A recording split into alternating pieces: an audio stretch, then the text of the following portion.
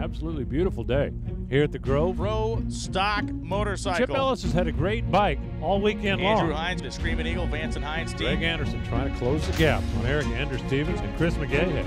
This is a big time matchup, no matter how you want to shake it out. Funny card around the corner here. Chad Head back in the final round looking for his first win, and that's Fast Jack. 10,000 horsepower each.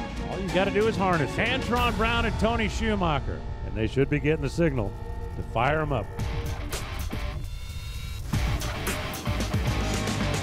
Let's go racing, everybody. Wow, look at that. You can see Chip Ellis trying to fight the bike a little bit, and it's Andrew Hines. Whoa! Whoa, yeah, we're fired up right at the line. Oh, Greg oh, Anderson's late. That's the difference. Let me hear you scream. Are you ready for some nitro? Fast Jack on a hole shot, no less. You left on a big daddy. Schumacher smokes the tires. Antron Brown, pretty in pink, gets it done.